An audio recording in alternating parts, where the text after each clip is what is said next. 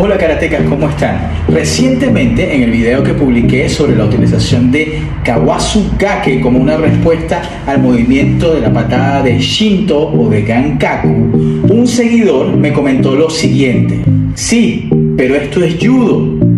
Ok, para responder a esto, primero tenemos que explicar lo que se conoce como el mito del origen común.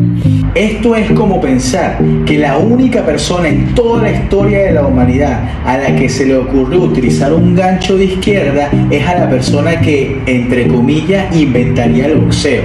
O es como pensar que solamente a los que crearon el Muay Thai o el kickboxing fueron a los únicos en la historia de la humanidad a los que se les ocurrió hacer una patada circular. Que solamente aquellos que crearon el Jujutsu o el Judo fueron las únicas personas en la historia de la humanidad a quienes se les ocurrió lanzar una persona al suelo.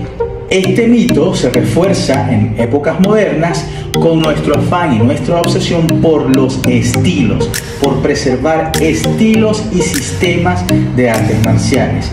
La gran mayoría de los métodos de combate que existen en su origen no eran más que la mezcla de distintas influencias, buscando siempre lo que funciona en el combate real no todas las técnicas que existen en las artes marciales tuvieron que haber tenido un solo origen. En la historia de la humanidad, los seres humanos han desarrollado formas de combate y como todos los seres humanos somos más o menos iguales, tenemos dos manos, dos piernas y estamos sometidos a la ley de la gravedad, pues las distintas culturas han desarrollado distintas formas de lucha que tienen similitudes entre sí pensar que hay un movimiento exclusivo de karate o un movimiento exclusivo del muay thai o un movimiento que es exclusivo del judo es simplemente desconocer la historia de las artes del combate. Además de esto hay que hablar de la historia del karate. Sabemos que el karate en Okinawa se originó a partir de la mezcla de distintos sistemas de combate, muchos de ellos traídos de China, como el Luohan Quan, el estilo de boxeo de la tienda de incienso, junto con el estilo de la citrulla blanca de Fujian. Pero también hay que notar que sabemos ya que en la época en que se estaba comenzando a armar lo que hoy conocemos como karate, en el castillo de Shuri, en Okinawa, los guardias de este castillo eran expertos en el estilo de combate Shuai Yao, que es conocido entre comillas como el judo chino, ¿ok? Es una forma de lucha cuerpo a cuerpo de China.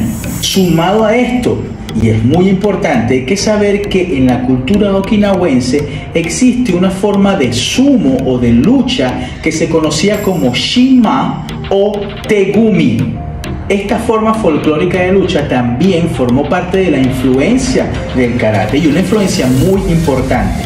Tan importante que los padres fundadores de karate cuando se referían a la práctica del combate, no utilizaban el término moderno kumite, sino utilizaban el término tegumi. Ambos términos significan manos entrelazadas, pero en la versión más antigua, tegumi se refiere específicamente a el grappling, a la lucha cuerpo a cuerpo, manos entrelazadas. Esto quiere decir que la principal influencia okinawense del karate es un arte de lucha muy similar a la lucha grecorromana, al sumo y al judo. Y tenemos imágenes modernas de este sistema en lo que se realiza la técnica que expliqué en el video, Kawasu Gake. Así que esa técnica no es de judo, esa técnica es una técnica de combate. Punto.